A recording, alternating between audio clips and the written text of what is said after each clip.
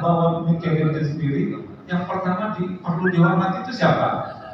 Bapak tentunya. Tentunya siapa? Bapak. Tapi Rasulullah tidak egois. Rasulullah tidak memikirkan dirinya sendiri. Rasulullah tidak melihat dia. Tapi dia lihat yang dia junjung tinggi itu adalah kaum wanita. Kaum wanita sembilan bulan yang membawa beban ke mana pun adalah tempat tidur yang berjalan di mana pun di masa di bawah ranjangnya. Waktu itu belum ada mall bu ya, nggak ada mall. Ke mana? Ke pasar, ke toilet juga di bawah tempat tidur itu. Untuk siapa? Untuk sang bayi yang dalam rangka kandungannya. Makanya pantas Rasulullah mengatakan wanita ibu adalah prioritas utama kita berikan penghormatan. Manasik haji kaitannya dengan haji itu apa? Dalam rangka mengingatkan kembali peranan inti kaum wanita. Jangan lupa tidak sah haji kita kalau kita tidak mengikuti jejak yang dicontohkan oleh Siti Hajar. Yaitu apa? Sa'i. Sa'i itu adalah contoh utama yang diberikan oleh seorang wanita yang bernama Siti Hajar memberikan spirit kepada kita laki-laki. Hei kaum laki-laki, kami juga kaum wanita mampu.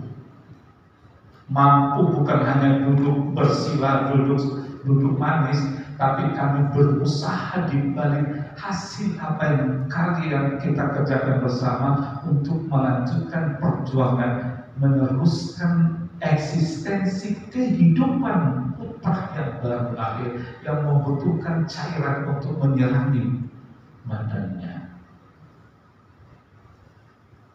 Ini tujuan manasik kita hari ini untuk memberikan ketegasan betapa kaum ibu itu memiliki peranan sangat penting sampai orang mengatakan al ummu madrasatun idza saluhat saluhatil ajyadu jika negara ini baik jika Indonesia itu baik makmur maka perbaikilah nasib kaum wanita perbaikilah kondisi nutrisi kaum ibu.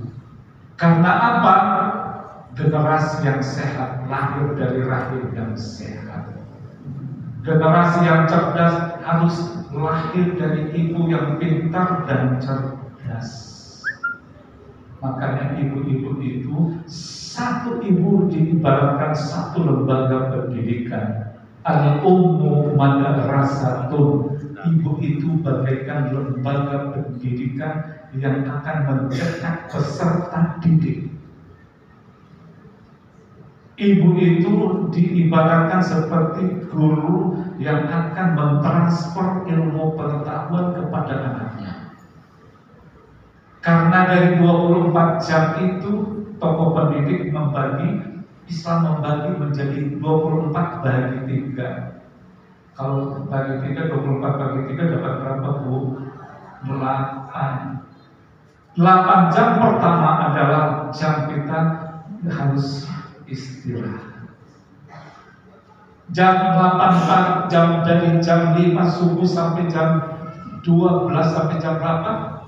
Itu untuk pendidikan anak-anak kita Supaya anak-anak kita pintar anak-anak kita cerdas, anak-anak kita berkualitas, harus ada masa proses waktu 8 jam. 8 jam berikutnya untuk siapa? Untuk dia berinteraksi dengan dirinya sendiri anak-anak itu. Jauh lebih banyak mana dia di sekolah atau dibawa ke tiap tanggung jawab orang tuanya. 16 jam ibu-ibu anak-anak itu berada di bawah pengawasan rumah tangganya. Hanya delapan jam saja, hanya delapan jam saja anak itu di bawah pengasuhan lembaga pendidikan formal yang ada di sini. Makanya hari ini kami hadirkan Ibu Andi untuk memberikan testimoni agar supaya ibu menjadi orang yang baik. Selamat datang Ibu Andi. selamat datang ke depan.